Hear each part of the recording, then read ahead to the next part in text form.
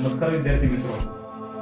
आज पुन्हा एकदा एका नवीन पाठात आपलं सहर्ष सहर्ष स्वागत आहे. विद्यार्थी मित्र हो मानवी शरीर हे एक अद्भुत निर्मिती आहे. याचा काही प्रमाणात आपण अभ्यास यापूर्वी केलेला आहे. तर या शरीराची सुरुवात एका पीसी सारख्या लहान घटकाने होते.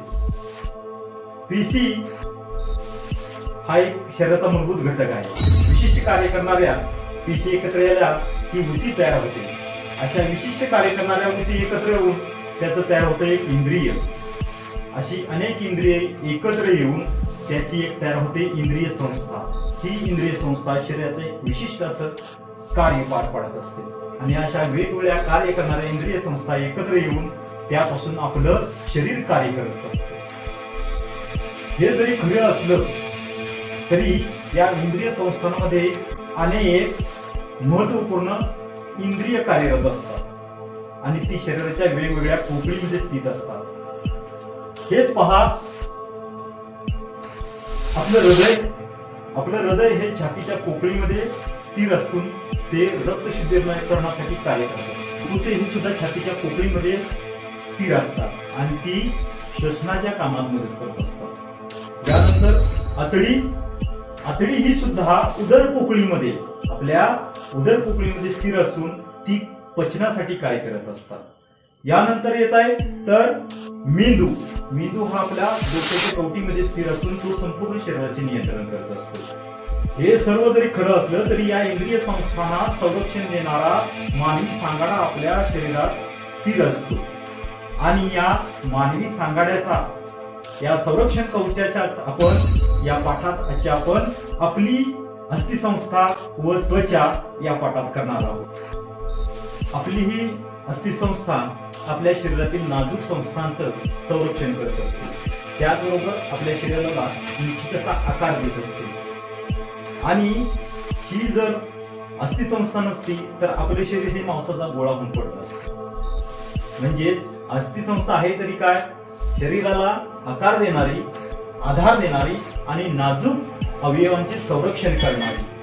विद्यार्थी मित्र हो बऱ्याच वेळा आपण खेळतो धावतो अशा वेळी पडण्याची शक्यता असते. पडून आपल्या हातापायाचे हाड मोडण्याची शक्यता असते. मग अशा वेळी आपल्या दुखणाऱ्या भागाला खूप वेदना होतात. हाड मोडलं की त्या ठिकाणी सूज येते. मग अशा वेळी काय करावं बरं? आपल्या मित्राचा असा अपघात झाला किंवा त्याची हाड मोडली तर काय करावं बरं? तर सर्वप्रथम ज्या ठिकाणी हाड मोडलेले आहे त्या भागाची हालचाल होता कामा नये. अशा ठिकाण अशा अशा पद्धतीनं त्याचा तो शरीराचा अवयव ठेवा. आणि शक्य तितक्या लवकर आपण त्याला दवाखान्यात घेऊन वैद्यकीय उपचार करणं गरजेचं आहे. मग असं हे जर ठिकाण तर दवाखान्यामध्ये उपचार करतात तरी काय बरं? तर सर्वप्रथम त्याची क्ष किरण प्रतिमा घेतली जाते. त्यालाच आपण एक्सरे इमेज म्हणतो. तर ह्या एक्सरे इमेज मुळे होतं काय? आणि याचा शोध कुणी लावला बरं?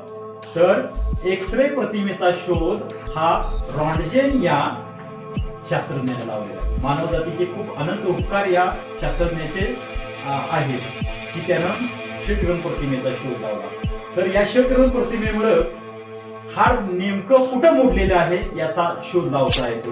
आणि डॉक्टरांना वैद्यकीय उपचार करण्यासाठी योग्य ती दिशा मिळत असते. शरीरातील सर्व हाडे आणि खुर्च्या यापासून अस्थिसंस्था बनलेली असते हाडे ही कठीण असतात. यांची रचना लवचिक नसते.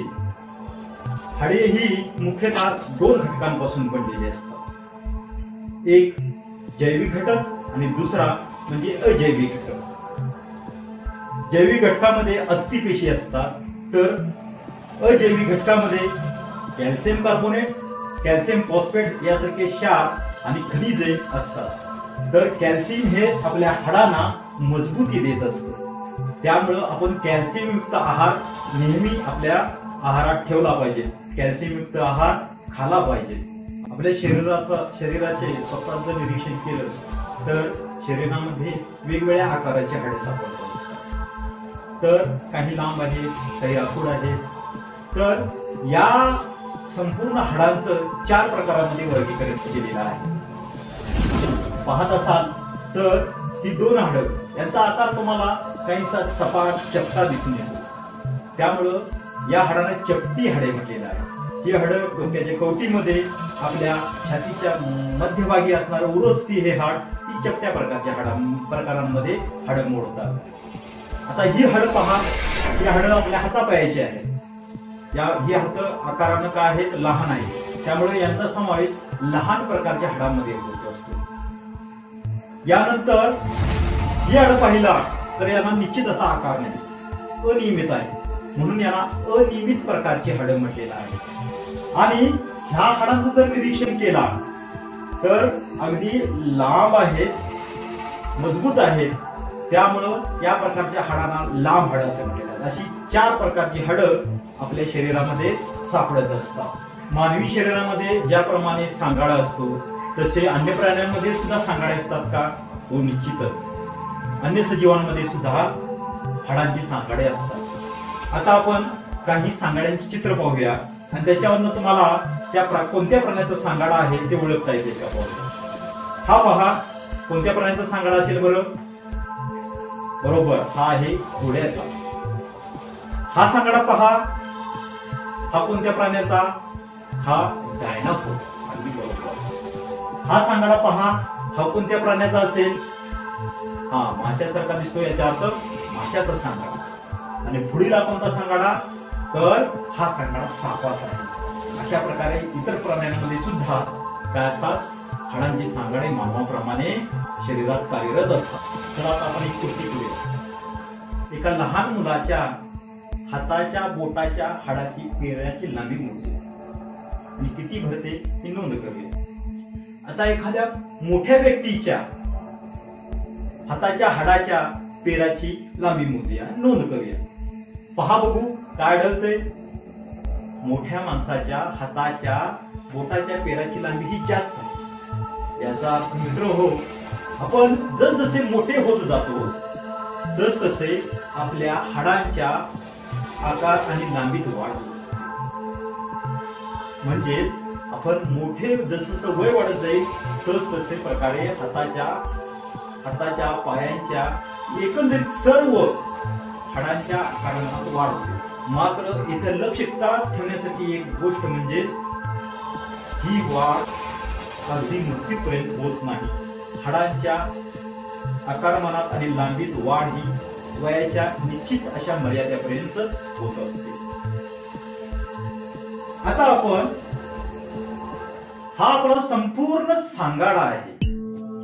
याची विभागणी कोणत्या प्रकारे केलेली आहे? तर आपण हा एक सांगाडा घेतला. या सांगाड्यामध्ये अतिशय मधोमध जाणारी एक रेषा काढली. त्यालाच मध्य रेषा म्हणता येईल. ही मध्य रेषा म्हणजेच आपल्या शरीराचा अक्ष आहे. काय आहे? अक्ष. अक्ष याचा अर्थ एखादा वस्तूच्या किंवा आकाराच्या मधोमध जाणारी काल्पनिक रेषा. जी त्या वस्तूचे किंवा त्या आकाराचे समसमान दोन भाग करते. आता इथं पहा या मध्य रेषेच्या भोवती जी हाडं आहेत त्यांचा समावेश हा अक्षीय सांगाड्यामध्ये केला जातो. आणि त्या अक्षापासून बाजूला असणाऱ्या हाडांचा समावेश उपांग सांगाड्यामध्ये म्हणजेच मानवी सांगाड्याचे दोन विभागामध्ये विभागणी होते. अक्षीय सांगाडा आणि उपांग सांगाडा. पुन्हा अक्षीय सांगाड्याचे अक्षीय सांगाड्याचे तीन भाग होतात. एक मानवी कवटी दुसरा छातीचा पिंजरा आणि तिसरा भाग आहे पाठीचा कणा. तर ही आपली कवटी डोक्याची कवटी या डोक्याच्या कवटीमध्ये चेहरा आपली डोक्याची त्याची याची चौकी तयार होते आपल्या चेहऱ्यामध्ये एकूण चौदा हडे आहेत आणि डोक्यामध्ये आठ हडे अशा प्रकारे एकूण डोक्याच्या कवटीमध्ये बावीस हाडे आहे बावीस हाडे आहे मग ही डोक्याची कवटी करते तरी काय? तर डोक्याची कवटी ही आपल्या मेंदूचं संरक्षण करते. जो मेंदू शरीरावरती नियंत्रण ठेवत असतो. या डोक्यांच्या कवटीमध्ये लक्षात ठेवा फक्त आपल्या जबड्याचा खालच्या जबड्याच्या हाडाची हालचाल होते. अन्य प्रकारची हाडे हलत नाही. यानंतर अक्षय सांगायचा पुढचा घटक आहे पिंजरा. आपल्या छातीवरून हात फिरून पहा. काय जाणवतं तर आडवी काही हडळ आणि मधोमध जर हात फिरवला तर एक चपट उभं हात सापडला. हा आपला छातीचा पिंजरा. या छातीच्या पिंजऱ्यामध्ये आडवी अशी जी हड आढळतात त्यांना बरगड्या म्हणतात. काय म्हणतात? बरगड्या. या बरगड्याच्या जोड्या आहेत बारा. बारा बरगड्याच्या जोड्या हाडं झाली चोवीस आणि उभं मधोमध आढळणारं चपट हात म्हणजे त्याला आपण मोरोस्पी म्हणतो.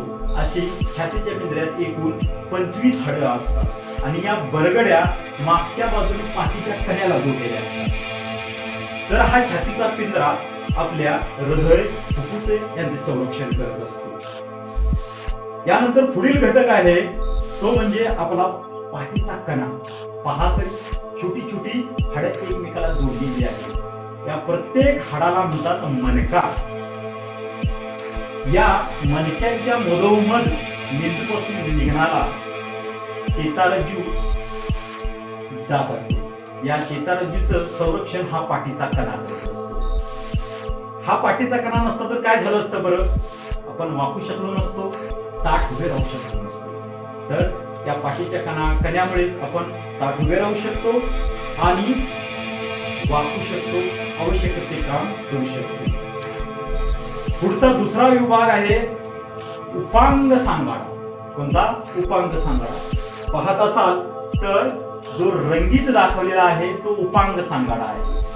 या उपांग सांगाड्यामध्ये म्हणजेच शरीरातून जाणाऱ्या मध्य रेषेपासून बाजूला असणाऱ्या कडांचा म्हणजे कोणकोणत्या? तर हात पाय आणि आपल्या खुब्याचा भाग यांचा समावेश या उपांग सांगाड्यामध्ये होत असतो. विद्यार्थी हो तुम्हाला माहिती आहे का? आपल्या दोन कानामध्ये तीन तीन हाडे असतात. त्यापैकी कडी अर्थात स्टिरप हे हाडात आपल्या कानातील हाड शरीरातील सर्वात लहान हाड आहे. ते तांदळाच्या दाण्यावडे विचार करा तांदळाच्या दाण्यावडे लहान असते आणि पोकळ असते. त्याचा आकार कडीसारखा असतो. आणि मानवी शरीरात सर्वात लांब आणि मजबूत हाड हे आपल्या मांड्यांमध्ये असते. त्यालाच आपण गुर्विका म्हणतो असतो. समोरील आकृतीचे निरीक्षण करा. त्याचप्रमाणे डोक्यापासून पायापर्यंत तुमच्या शरीराची वेगवेगळ्या ठिकाणी हालचाल करून पहा. शरीराचे भाग कोणकोणत्या ठिकाणी वागतात किंवा फिरवता येतात याचं निरीक्षण करा. आणि आकृतीत ज्या ज्या ठिकाणी गोलाकार दाखवलेला आहे त्या ठिकाणचं सुद्धा निरीक्षण करा. तुम्हाला वेगवेगळ्या प्रकारच्या हालचाली करता येतात. हे कशामुळे शक्य होत असेल बरं? तर हे शक्य होतंय सांध्यांमुळे. तर सांधा म्हणजे काय?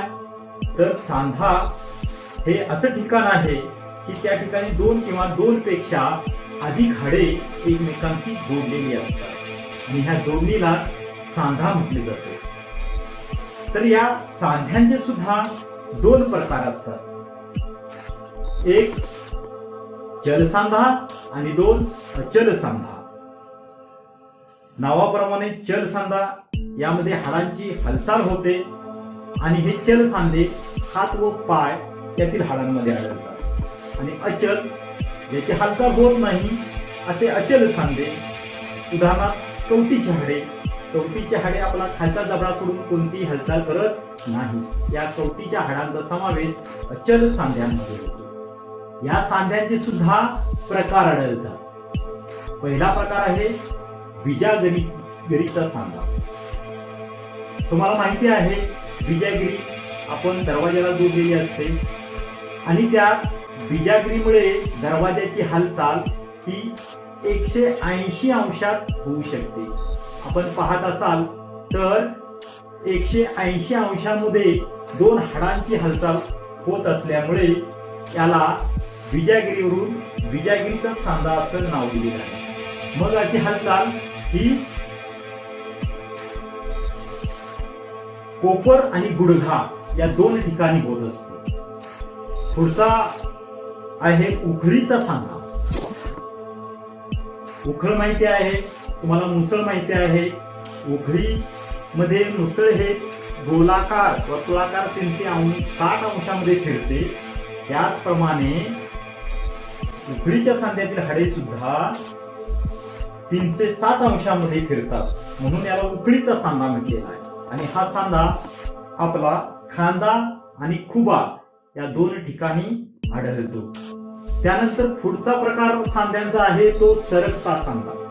तुम्ही हालचाल करून पाहू शकता आपली हाताची बोटे आणि पायांची बोटे. यामधील हाडामध्ये ही हाडे एकमेकामध्ये सरकतात. एकमेकावर सरकल्यामुळं त्यांना सरकता सांधा असं म्हटलेलं आहे. मनगट आणि पायाचा घोटा यामध्ये हा सरकता सांधा सापडतो आपण वेगवेगळ्या वस्तू किंवा पदार्थ येण्यास ज्यावेळी स्पर्श करतो त्यावेळी ती वस्तू गरम आहे थंड आहे खडबडीत आहे गुळगुळीत आहे हे आपल्याला लवकर जाणवतं. हे कशामुळे शक्य होतं? हे शक्य होतं आपल्या त्वचेमुळे. त्वचा ही सजीवांचा एक महत्त्वाचा अवयव आहे. त्वचेवरती केस असतात नखे असतात तर या त्वचेमुळे शरीरातील सर्व अवयव आणि अस्थिसंस्था यांचं संरक्षण होत असतं. या शरीरावरील बाह्य आवरणालाच आपण त्वचा म्हणत असतो. तर ही त्वचा असती कशी असती आहे? तर ही या त्वचेची सुद्धा वेगवेगळे थर असतात. आपल्या त्वचेचा जर उभा छेद घेतला तर ती त्वचा अशी यातील सर्वात बाहेरचं आवरण किंवा थर त्याला बाह्य त्वचा म्हटलेला आहे. या बाह्य त्वचेवरती केस असतात. त्याच्या खालती जी त्वचा असते ती असते अंतत्वचा. या अंतत्वचेमध्ये रक्तवाहिन्या आणि मज्जातंतूंचे जाळे असते. आणि त्याखाली जो थर असतोय तो त्याला म्हणतात उपत्वचीय थर. या उपत्वचीय थर थरामुळे आपल्या शरीराच्या तापमानाचे नियंत्रण नियंत्रण होत असते. ते आपल्या घामावाटे तर हे तीन थर आपल्या त्वचेमध्ये आढळून येत असतात. आपण खेळून आलो उन्हात चालून आलो की आपली त्वचा ओलसर बनते. हे कशामुळे होतं बरं? तर हे होतं आपल्या शरीरात असणाऱ्या घर्मग्रंथीमुळे. आपण जी त्वचा ओलसर होते म्हणतो तोच म्हणजे घाम. आणि ह्या घाम तयार करणाऱ्या ग्रंथी आपल्या त्वचेखाली असतात. ज्यावेळी आपण धावून चालून येतो त्यावेळी आपल्या शरीराचं तापमान वाढतं. परिणामता या घर्मग्रंथी आपल्या शरीरातील घाम त्वचे बाहेर काढतात आणि तो शरीरावरती पसरतात. त्यामुळं शरीराचं तापमान नियंत्रित राहतं आणि ते सदतीस अंश सेल्सिअसच्या आसपास राहतं. आपल्या शरीराचं तापमान हे सदतीस अंश सेल्सिअस इतकंच असतं. त्याच्यापेक्षा जर ते अधिक वाढलं तर त्यालाच आपण ताप येणे असं म्हणतो. त्वचा नेमकी कोणती कार्य करत असते बरं? आपल्या शरीराच्या अंतरंगाचे जसे की स्नायू हाडे इंद्रिय संस्था इत्यादींचे रक्षण करते घामाद्वारे शरीरातील आर्द्रता राखून ठेवण्यास मदत करते आणि ड जीवनसत्वाद्वारे हाडांना मजबूती देते. शरीरातील घाम टाकून तापमानावर नियंत्रण ठेवते उष्णता थंडी यापासून शरीराचे रक्षण करते. त्वचा एक महत्त्वाचे स्पर्शेंद्रिय म्हणून कार्य करते. म्हणजेच ते आपल्याला स्पर्शाची जाणीव करून देत असते. आपण बऱ्याच वेळा म्हणत असतो एखादी व्यक्ती गोरी आहे एखादी काळी आहे हे कशामुळे ठरत असेल? त्वचेच्या थरामधील पेशीत मेलॅनिन नावाचे रंगद्रव्य असते. मेलॅनिन त्वचातील विशिष्ट ग्रंथी तयार होते. मेलॅनिनच्या प्रमाणावरून आपल्या त्वचेचा गोरेपणा काळेपणा ठरत असतो. त्यात वातावरण ही त्वचेचा रंग ठरवत असते. मेल्याने त्वचेचे व आतील भागाचे अतिनील किरणापासून संरक्षण करत असते. तसंच मेलॅनिन आपल्या केसांच्या रंगाला सुद्धा कारणीभूत आहे. काळे गडद केस हे शुद्ध मेलॅनिनमुळे तर भुरे पांढरट केस हे मेलॅनिनमधील गंधकामुळे तांबडे केस हे मेलॅनिनमधील लोह असल्यामुळे आपल्यास पाहाव्या पाहावयास मिळते. आता या दोन चेहऱ्यांचे निरीक्षण करतात करा. यामध्ये वयस्कर आजीबाईंच्या चेहऱ्यावरती त्वचेवरती सुरकुत्या आहेत जसे वय वाढते तसे त्वचेकडील असणाऱ्या चरबीचे प्रमाण कमी होते. मात्र तरुणपणात चांगली त्वचा मूळ स्थितीत येत नाही. म्हणून वयस्क व्यक्तीच्या त्वचेवर सुरकुत्या पडू लागतात. आपली त्वचा ही एक महत्त्वाचा अवयव आहे. त्याची स्वच्छता आणि निगा आपण राखणं गरजेचं आहे. त्यासाठी रोज आंघोळ करणंही तितकंच गरजेचं आहे. तसंच एखाद्याला आपण काळा गोरा असा भेदभाव करून हिणवणं सुद्धा योग्य नाही. कारण याला कारणीभूत आपल्याला आपल्या शरीरातील मेलॅनिन नसतं. त्यामुळे त्वचेच्या रंगावरून कोणालाही आपण वेगवेगळ्या प्रकारे काय करणं भेदभाव करणं योग्य नाही. त्याचबरोबर गोळे दिसण्यासाठी वेगवेगळ्या प्रकारची सौंदर्य प्रसाधनं वापरून आपण बरं दिसावं असा हट्टाहस सुद्धा योग्य नाही. या संपूर्ण पटात आपण काय काय बरे शिकलो? शरीरातील सर्व हाडे आणि खुर्च्या मिळून असली संस्था बनते. हाडाच्या सांगाड्यांमुळेच आपल्या शरीराला आकार आधार मिळतो. बाह्य आवरणाला त्वचा म्हणतात. इंद्रियांचे संरक्षण करण्याचे महत्वचे कार्य अस्थि संस्था आणि आपली त्वचा करत असते. अस्थि संस्था आणि त्वचेची सुद्धा आपण काळजी घेणं आवश्यक आहे. मानवी अस्थि संस्थेचे कवटी छातीचा पिंजरा पाठीचा काना हात व असे भाग पडतात. मानवीय त्वचेचे अंतत्वचा व बाह्य त्वचा असे थर आढळतात. संपूर्ण पाठ पुन्हा पुन्हा अभ्यासा चांगला अभ्यास करा. धन्यवाद.